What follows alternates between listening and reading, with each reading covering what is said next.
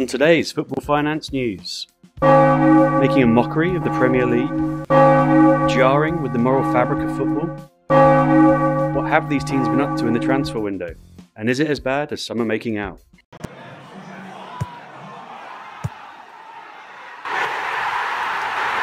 Our top story today the transfer window opened on the 14th of June, and there's already been an unusual flurry of activity in the opening weeks.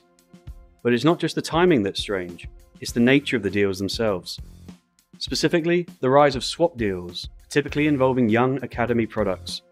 Who's in the middle of it? Chelsea, Aston Villa, Everton, and to a lesser extent Newcastle are in the spotlight for a number of completed and reported transfer deals occurring just days before the end of June. We've seen Everton and Aston Villa swap academy products Lewis Dobbin and Tim Iroegbunam. There are also reports of potential deals between Chelsea and Aston Villa involving Ian Maatsen, Conor Gallagher, Omari Kellyman, and Jhon Durán. On top of that, Newcastle and Everton had been linked with exchanges of Dominic Calvert-Lewin and Yankuba Minteh, though that particular deal appears to have cooled. So why all this activity before the 30th of June? It boils down to the Premier League's Profit and Sustainability Rules, PSR for short. June the 30th isn't just the end of the month, it's the financial year end for these clubs, and the last chance to boost profits. PSR limits clubs' losses to 105 million over three years. By making these deals now, clubs can boost their bottom line just in time for the PSR calculations. For all 14, speculation has been rife on their PSR status as the 24 financial year ends. But swap deals themselves aren't new in football. What's different this time, and why are they drawing such scrutiny?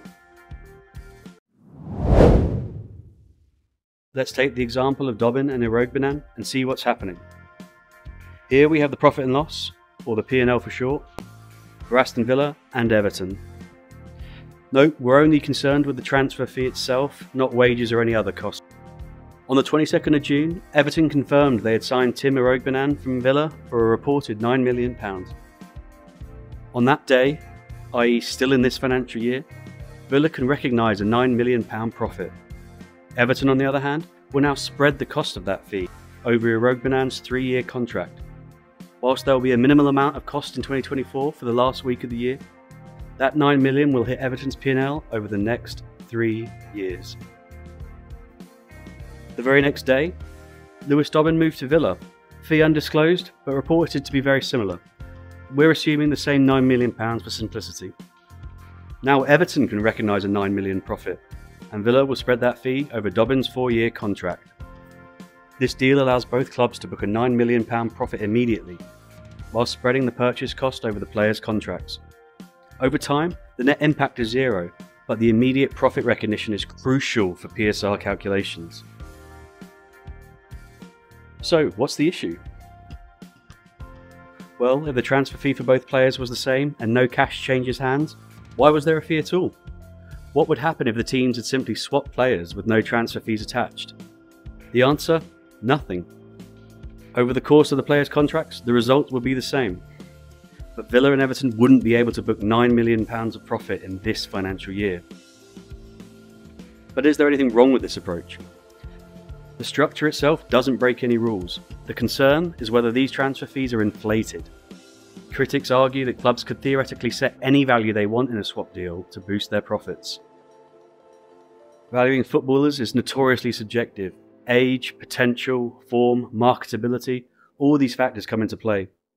This subjectivity makes it very difficult for regulators to prove if a valuation is artificially inflated. Is 37.5 million a fair value for Ian Maatsen? What about 19.5 million for Omari Kellyman, despite only two professional appearances? While some may disagree with that valuation, it's very difficult to categorically say that it is inflated.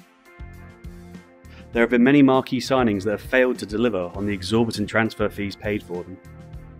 The point of contention here is the mutual benefit both clubs receive.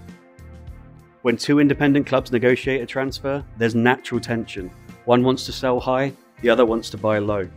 But in these swap deals, both clubs are after immediate profits, and therefore both benefit from higher valuations.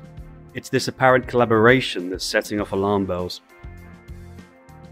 The Premier League finds itself in uncharted territory. Has anyone ever faced consequences for abusing these kind of practices? Well, we can look at one of Aston Villa's current dance partners, Juventus. Villa are looking to swap Douglas Luiz to the Bianconeri, with two players coming back this way. But in the Plusvalenza scandal, Italian football authorities investigated a number of clubs, including Juventus, for artificially inflating transfer fees.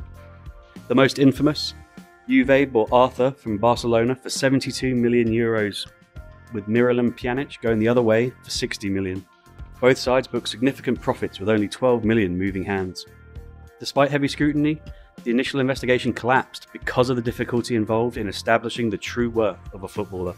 Juventus eventually did land in hot water though, due to new evidence, including former directors Fabio Paratici's Black Book, alleged to contain the club's true valuations of the players involved, as well as wiretapping Juventus executives. Juve were eventually docked points for financial irregularities and brokered an agreement with UEFA to drop out of the Conference League competition. With Aston Villa and Chelsea back in Europe this year, they won't just be under Premier League scrutiny, but UEFA as well. Having said all this, there is no evidence of anything similar happening in these current swap deals. Unless there's clear evidence of wrongdoing, it's very difficult to prove that a valuation is artificially inflated. But with a few days left in the financial window, what other moves may teams need to make to get over the PSR line? Keep up to date with football finance news to find out.